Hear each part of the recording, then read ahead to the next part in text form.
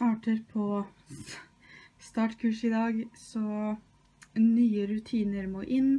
Jeg må bli flinkere til å spise frokost, så i dag har jeg to knekkebrød med kalverulade, tror jeg det heter. Og et stort glass vann i bare en sånn Starbucks drikkekopp. Så nå skal jeg spise frokost, og så skal jeg fortsette å gjøre meg i stand. God morgen! Jeg ser ingen jeg. Jeg har glemt å ta med solbrillene mine, merker jeg. Men herregud, tok du ikke med deg fra bordet i stad? Nei. Ehm, men vi er i hvert fall på vei til sykehuset. Start uh, Trafikk, det har vi ikke tid til nå. Chop, chop. Ehm, ja, vi er i hvert fall på vei til Eller jeg er på vei til startkurs. Guro skal slippe å være med. Hun har gjort det. Ehm, så ja. Merker jeg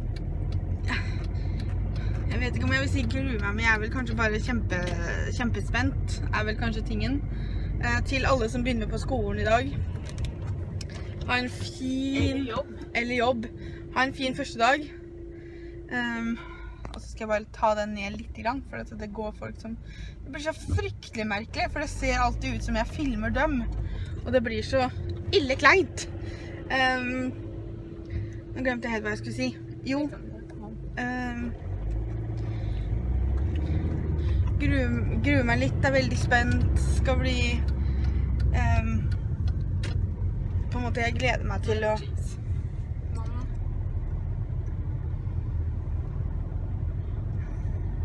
Sykkel.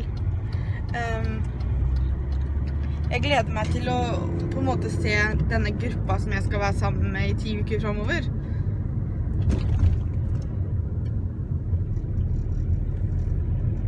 Ja. Um, men uh, ja, så jeg oppdaterer selvfølgelig når jeg er ferdig på kurset. Jeg skal også få filma en sånn Pias vektreisevideo i dag eh, om første startkurset. Da har jeg lagt ut dagens video. Det er en Hva vi har i veska med Kine. Så da kan dere sjekke ut den. Eh, ja, også I den videoen så har jeg lagt inn sånne kort som er sånne videoforslag som dukker opp sånn oppå skjermen her.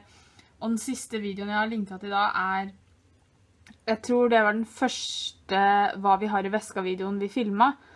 Og hjelpes meg. Uh, det, er, det er en smule flaut å sitte og se på de, uh, video, noen av de første videoene vi la ut. Vi skal filme en sånn reacting to old videos-type ting, fordi at det, er fryktelig morsomt.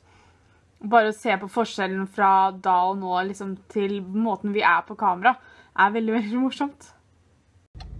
Ferdig på sykehuset. Um, jeg kommer ikke til å snakke veldig mye om det i vloggen, for jeg, det er ikke så veldig mye å si om første gangen. Så jeg tenkte at jeg bør jo på en måte ikke sitte og si alt nå i vloggen, og så skal jeg filme en egen video om det seinere. Men uh, holdt jeg på å si Jeg sitter vel ikke med noen negative følelser. Jeg uh, holdt jeg på å si Jeg er som jeg alltid er, og er litt sånn Småskeptisk. ja. ehm, men ikke til, ikke til på en måte selve kurset, ikke til uh, prosessen. Og jeg, jeg, jeg sitter og Men det vet jeg jo også fordi jeg har sett hva du gjorde med Guro. Men jeg vet jo at jeg kommer til å få så mye ut av kurset. Det er ikke det, jeg- det, er ikke det jeg er skeptisk til i det hele tatt.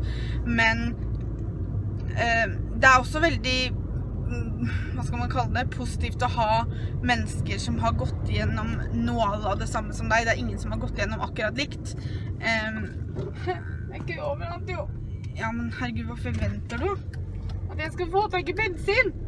Eller diesel, da, som man også um, så så jeg, jeg er absolutt ikke det jeg er skeptisk til. Eh, jeg er alltid skeptisk Men altså igjen, det går på mine følelser, men jeg er skeptisk til det å måtte gå gjennom det her sammen med andre mennesker. Og det, det veier egentlig litt opp for det jeg nettopp sa, at det var liksom betryggende å sitte, men um, fordi at mennesker er så forskjellige, og folk har så veldig forskjellige meninger om ting, og jeg eh, takler svært dårlig mennesker som har veldig sterke meninger om alt mulig rart. Um, og jeg takler veldig dårlig å bli satt i en situasjon der noen skal tvinge meg til å prate eller tvinge meg til å dele eller tvinge meg til å Og det, og det er absolutt ikke noe um, på en måte på kurslederen og sånne ting. Um, men jeg, jeg, må få lov til at hvis jeg ikke har lyst til å si noe, så må jeg få lov til å ikke si noe. Og det, det, sånn er det på det kurset. Ja, og det, det merka jeg også på kurslederen, for han var veldig kjapp til å liksom være sånn Nei, vi kommer ikke til å liksom peke på deg, du kan dele nå, liksom. Så man skal få lov til å dele akkurat hva man vil hvor mye jeg fikk ut av første kursdagen, er liksom på en måte øh, mulig å diskutere. Men altså, første gangen er første gangen. Nå var det liksom sånn hva skal man kalle det, ikke informasjon sånn sett, men var, vi snakka veldig mye om forventningene vi har til kurset. Da, hva vi forventer å få ut av kurset. Um, liksom sånn normer for hvordan vi skal være på kurset. Um, jeg har jo på en måte taushetsplikt for alt som blir sagt av de, de, andre sier, på en måte. Jeg kommer ikke til å ha noe problem med å dele mine erfaringer med dere, men jeg kan jo ikke snakke om andre sine erfaringer, for det er ikke mine historier å fortelle. Men ehm, så, så dagen i dag var mer litt sånn derre du, du, du, sitter og Hva skal man kalle det? Du sitter og får et eh, inntrykk av gruppa du skal tilbringe elleve timer til sammen, da. Eh, eller 36 timer fikk vi vite, men det er jo fordi at 11 ganger til, kan man kalle det. Um, så Og liksom, vi har jo uh, Det er en veldig sånn lett tone. Um, så vi ler og vi spøker og liksom sånne ting. Og det, det er veldig greit, for jeg hadde ikke orka hvis det skulle liksom vært alvor hele tiden. Um, men det var liksom en av de tingene som kurslederen sa, var liksom det at vi, vi bør jo gå for å ha det gøy sammen. Eh, så det er snakk om også det at liksom gruppa kan sette seg noen felles mål, da, som, eller oppgaver man skal ha hver uke. Så sånn at f.eks. fram til neste gang så skal vi ha gått så og så langt og sånne ting. Um, for det var ikke noe vi kom til å få av dem, men som han sa, det går jo an for oss å gjøre sammen. Um, og det er veldig greit å ha. Mm -hmm. ja. um, det er jo veldig greit å ha sånne ting, for at Mål er greit. Jeg lærte også det at jeg skal sette små mål av gangen. Ikke liksom si at 'å, jeg vil ned 40 kilo', liksom. Tenke heller smått. At man kan begynne på 2 kilo, 5 kilo, og, og gjøre det på den måten, da. Uh, og det er veldig greit, for da virker det ikke så lenge. Og så kan du heller, når du har gått ned de første to kiloene, så kan du tenke OK, neste mål tre kilo. Um, så Ja, det jeg har sagt til deg hele tiden. Ja da, jeg vet jo det. Og jeg, jeg visste jo det fra før av. Men det er liksom en av de tingene som ble prata om i dag. Det var det som var poenget mitt. da.